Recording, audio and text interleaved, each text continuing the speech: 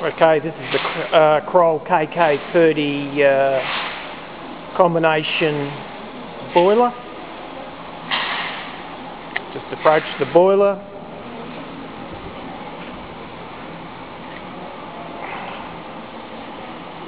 What you can see here is the control panel.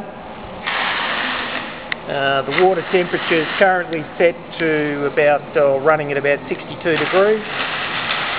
This thermostat controls the uh, water temperature when the burner gun takes over.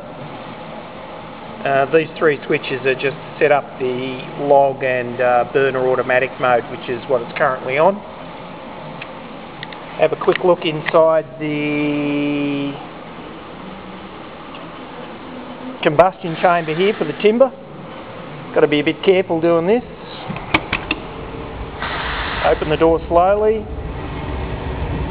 Okay, we've just got a small load of timber in there. These uh, door latches, by the way, or handles are um, pretty much child-proof. It's a double action uh, handle. If you open the handle just like that and pull against it, um, it won't open. You've got a, there's a double action. Um, okay, what we've got at the top here is the uh, primary or flame length control. And down the bottom below that we've got the um, secondary air control which um, slightly adjusts the colour of the uh, flame in the gasifying lower chamber. We've got our fire going there. I'll try and get a picture in here. There we go. And we can see coming down, we've got the, the flame. Now I'll very carefully open this bottom chamber. And we can see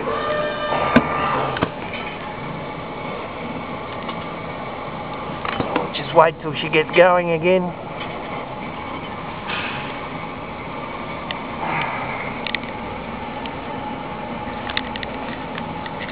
and we'll have a quick sneaky peek.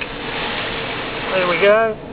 And when you interfere with the air mixture, the flame chops out and then starts up again, as you can see.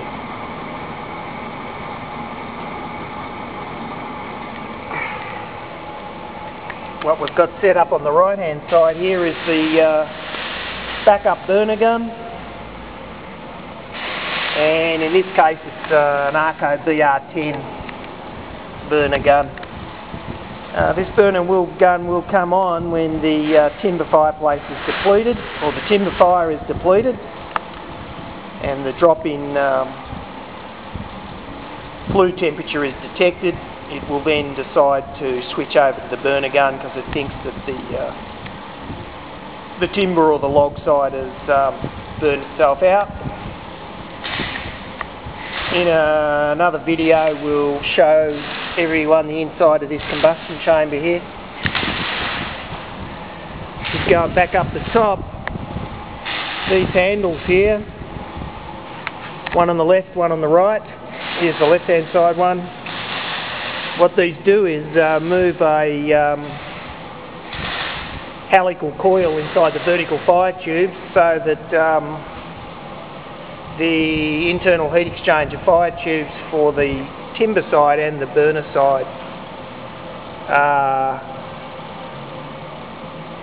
not exactly self-cleaning but uh, will remove the um, soot that's inside the vertical fire tube. Soot then just drops to the bottom and then has to be cleaned out of the bottom. Just a quick look out the back here and what we've got there is uh, the blower fan that the uh, log fire uses um, pretty much for its air supply. And unconnected we've got our safety connections for the um,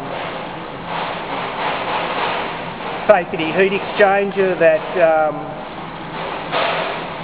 lets water flow into the uh, lower or the blue or the cold side there and evacuates hot water out of the boiler if um, the boiler overheats.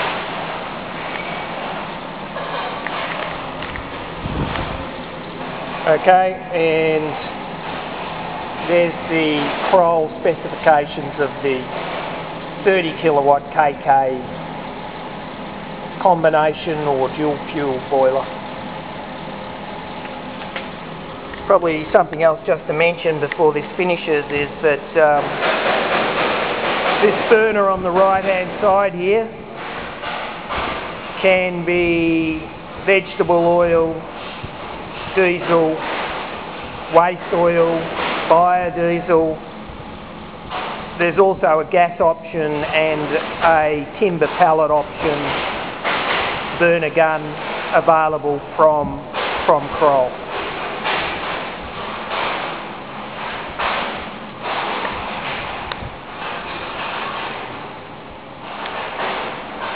Okay, so thank you.